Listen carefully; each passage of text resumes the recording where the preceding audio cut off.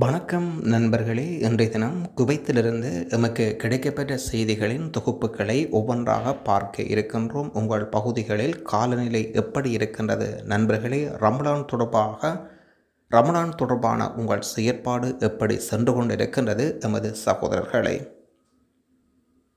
முதலாவதாக குவைத்தின் இன்றைய நாணய பருமதிகளை பார்ப்போம். இந்தியா மற்றும் இலங்கை ரூபாவில் இன்றைய நாணய பருமதிகள் இலங்கை ரூபாவில் ஆயிரத்தி அறுபத்தி ஐந்து ரூபா இன்றைய தினம் செல்கின்றது இந்திய ரூபாவில் இருநூற்றி அறுபத்தி ஒன்பது ரூபா இன்றைய தினம் குவைத்தினாருக்கு இணையான இன்றைய பெறுமதிகள் அமைந்திருக்கின்றது வழமை போன்று நீங்கள் அனுப்பும் எச்சிஎன்சி நிறுவனங்கள் அதே நேரத்தில் ஆப்ஸுகள் வங்கிகள் அதே நேரத்தில் நீங்கள் எப்படி அனுப்புகின்றீர்களோ அதை பொறுத்து சில வேலைகளில் சில பெறுமதிகளில் சின்ன மாற்றங்களை நீங்கள் சந்திக்க வாய்ப்புகள் உண்டு.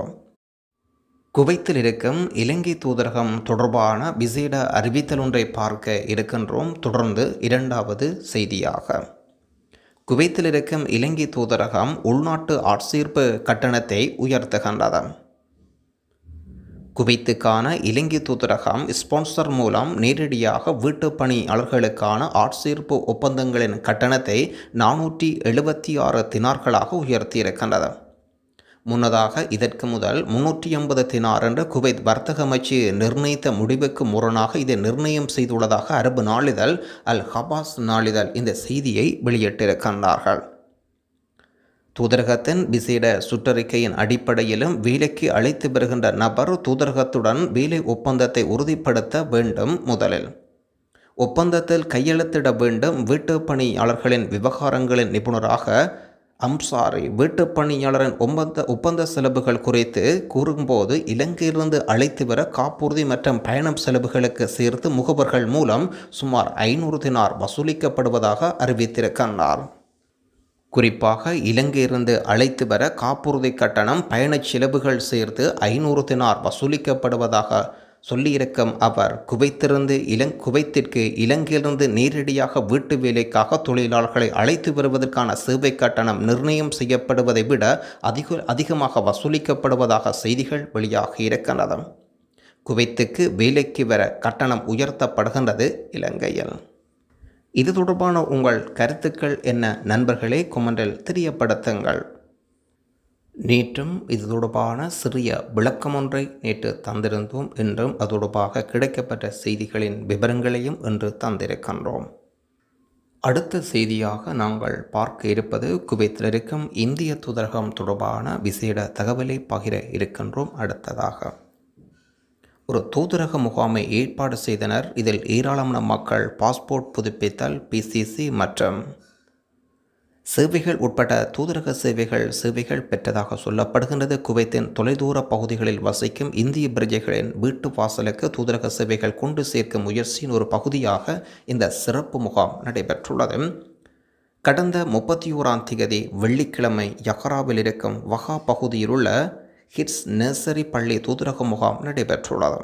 இது யஹாரா பகுதியில் உள்ள ஏராளமான இந்தியர்கள் தூதரகத்துக்கு செல்லாமல் இருந்து வரும் வேளையில் இந்த அனைத்து சேவைகளையும் பெற உதவியதாக சொல்லியிருக்கின்றனர் கடந்த வெள்ளிக்கிழமை என்று நடத்தப்பட்ட முகாம் பலர் தங்கள் கடமையிலிருந்து ஒரு நாள் விடுமுறை எடுக்காமல் இந்த சேவைகளை பெற உதவியதாகவும் சொல்லியிருக்கின்றனர் தூதரக முகாமுடன் மருத்துவ ஆலோசனை முகாமும் ஏற்பாடு செய்யப்பட்டிருந்தது. இதொடர்பான விசேட செய்திகளை ஏற்கனவே நாங்கள் தந்திருந்தோம். இந்திய மருத்துவர்கள் மன்றத்தின் குவைத்தின் மூத்த மருத்துவர்கள் ஈராள மக்களுக்கான இலவச மருத்துவ பரிசோதனையும் வழங்கியிருந்தார்கள்.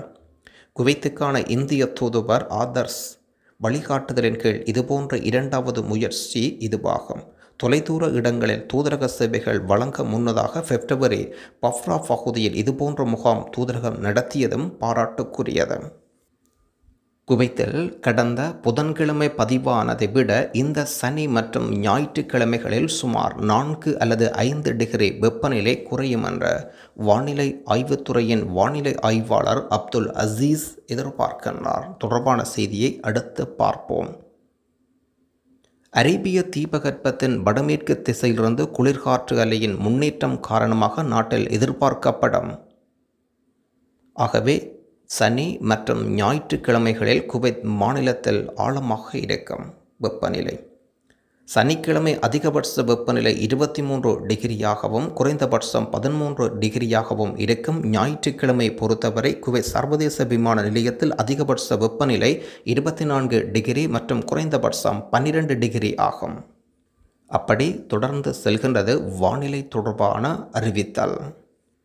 நேற்றும் இந்த செய்தியை தந்திருந்தோம் என்றும் தருகின்றோம் உங்கள் கருத்துக்களை குமண்டல் பதிவிட மறந்து விடாதீர்கள். குவை சாலைகளில் அதிகரித்து வரும் போக்குவரத்து நெரிசலை கருத்தில் கொண்டு மூன்று லட்சம் ஓட்டுநர் உரிமங்கள் திரும்பப் பெற நடவடிக்கை எடுக்கப்பட்டிருக்கின்றது. பல்கலைக்கழகம் பட்டம் மற்றும் குறைந்தபட்சம் அறுநூறு தினார் சம்பளம் இல்லாத அனைத்து வெளிநாட்டவரின் ஓட்டுநர் உரிமத்தை திரும்பப் பெற உயர் அதிகாரிகள் கடுமையான அறிவுறுத்தல்களை வழங்கியிருக்கின்றனர். இந்த சட்டம் நடைமுறைக்கு வந்தால் எப்படி இருக்கும்? நண்பர்களே குமன்றில் தெரியப்படுத்துங்கள்.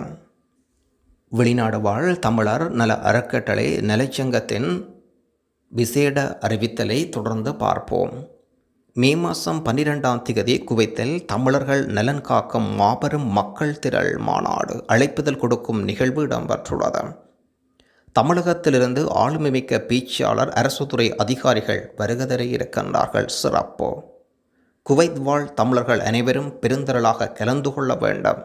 அதற்கான அழைப்புகள் பொதுமக்கள் அரசியல் கட்சிகள் இயக்கங்கள் யமத் உலமாக்கள் சங்கங்கள் சமூக ஆர்வலர்கள் முக்கிய பெருமோர்கள் பத்திரிகையாளர்கள் செய்தியாளர்கள் எழுத்தாளர்கள் கவிஞர்கள் அனைவரையும் சந்தித்து மாநாட்டில் கலந்து கொள்ள வேண்டி நேரடி அழைப்பும் கொடுக்கப்பட்டிருக்கின்றது.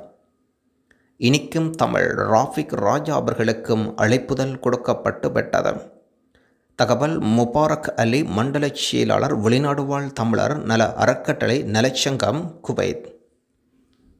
இன்னுமொரு அறிவித்தல் ஒன்று குவைத் தமிழ் ஓட்டுநர் சேவை மையம் சார்பாக நடத்தப்பட்ட இப்தார் நிகழ்வில் வெளிநாடு வாழ் தமிழர் நல சங்கம் மற்றும் அறக்கட்டளையில் கலந்து கொண்டதை அவதானிக்க முடிந்திருக்கின்றது.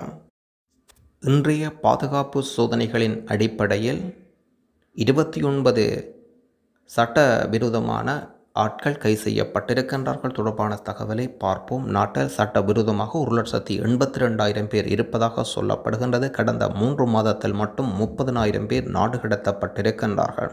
நேற்றைய தினம் மேற்கொள்ளப்பட்ட விசேட பாதுகாப்பு பிரச்சாரத்தின் அடிப்படையில் இருபத்தி ஒரு பேர் இருபத்தி ஒன்பது பேர் கை செய்யப்பட்டனர். குறிப்பாக கை செய்யப்படுபவர்கள் நாடு கடத்தல் மையங்களுக்கு நேரடியாக அனுப்பி வைக்கப்படுவதாக செய்திகள் வெளியாகி இருக்கின்றது. காலவதியான குடியிருப்புகள் ஆபாசக்காரர்கள் ஓரங்கட்டப்பட்ட தொழிலாளர்கள் பதினேழு நபர்களை கை செய்ய முடிந்ததாகவும் அதே சமயம் வெவ்வேறு தேசிய இனங்களைச் சேர்ந்த பதினோரு பேர் பிச்சை எடுத்ததன் அடிப்படையிலும் மற்றவர்கள் வீதிகளில் சட்டவிரோதமான விற்பனை செய்ததன் அடிப்படையிலும் இவர்கள் கை செய்யப்பட்டதாக சொல்லப்படுகின்றது. அடுத்து குவைத்தில் இருக்கும் இலங்கை தூதரகத்தின் விசேட அறிவித்தல் ஒன்றும். இதில் இருக்கும் இலக்கங்களுடைய விண்ணப்பதாரிகளின் கடவுச்சீட்டுகள் தற்போது தூதரகத்துக்கு கிடைக்கப்பட்டிருக்கிறது ஆகவே காலை எட்டு முப்பது மணி தொடக்கம் பிற்பகல் பன்னிரெண்டு முப்பது மணி வரை நீங்கள் பெற்றுக்கொள்ளலாம் கடவுச்சீட்டை பெற மஞ்சள் நிற பற்றிச்சீட்டு அவசியம்.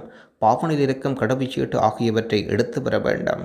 தற்காலிக கடவுச்சீட்டொன்று உங்கள் வசம் இருப்பின் அதனையும் எடுத்து வருவது அவசியம். இதில் இருக்கும் இலக்கங்கள் தெளிவாக தெரியவில்லை என்றால் கொமெண்டில் தெரியப்படுத்துங்கள் இல்லை என்றால் எமது வாட்ஸ்அப் குரூப்பிலோ அல்லது டெலிகிராம் குரூப்பினூடாக கேளுங்கள். அதற்குரிய முழு விவரங்களையும் தருகின்றோம். இதில் நாங்கள் சொல்ல வரும் விடயம் என்னவென்றால் நீங்கள் பாஸ்போர்ட் ரினுவல் பண்ணும் போது அல்லது தூதரகத்தில் இது போன்ற மஞ்சள் சீட்டை ஒன்று தருவார்கள். அதை கண்டிப்பாக நீங்கள் வைத்திருக்க வேண்டாம். உங்கள் வசம் இல்லை என்றால் எப்படி நீங்கள் தூதரகத்துக்கு உங்களுடைய பாஸ்போர்ட் கிடைக்கப்பட்டிருக்கின்றது என்பதை எப்படி நீங்கள் அறிந்து கொள்வீர்கள்? ஆகவே இதில் இருக்கும் மஞ்சள் சீட்டை கைவசம் வைத்திருக்க வேண்டாம். அதே நேரத்தில் மஞ்சள் சிட்டையில் மேலிருக்கும் இலக்கங்களை பாருங்கள். இரண்டாயிரத்தி இருபத்தி மூன்று ஒரு இடைவெளி விட்டு கே டபிள்யூ டி என்று கிடக்கின்றது. அதன் பிறகு இலக்கம் இருக்கின்றது. பாருங்கள் இது இரண்டாயிரத்தி இருபத்தி மூன்றாம் ஆண்டு ரினிவல் செய்வதற்காக கொடுக்கப்பட்ட பட்டிச்சீட்டை பாருங்கள். இது பதினாறாம் திகதி முதலாம் மாதம் இரண்டாயிரத்தி இருபத்தி மூன்று என்று அந்த பணம் பெற்றுக்கொண்டதுக்கான பட்டிச்சீட்டு இருக்கின்றது. அதில் மேலிருக்கும் இலக்கங்களை வைத்து தான் இரண்டாயிரத்தி இருபத்தி மூன்று கே டபிள்யூ டி சைபர் இருநூற்றி முப்பத்தி நாலு என்ற இலக்கங்களை வைத்து தான் உங்களுடைய பாஸ்போர்ட் தூதரகத்துக்கு கிடைக்கப்பட்டிருக்கின்றதா இல்லை என்பதை அறிந்து கொள்ள முடியும். ஒவ்வொரு வாரமும் இந்த இலக்கங்களை அவர்கள் ஒரு தொகுதி கடைசி ஒரு இருநூறு அல்லது நூறு என்ற அடிப்படையில் இலக்கங்களை அவர்கள் வெளியிடுவார்கள்.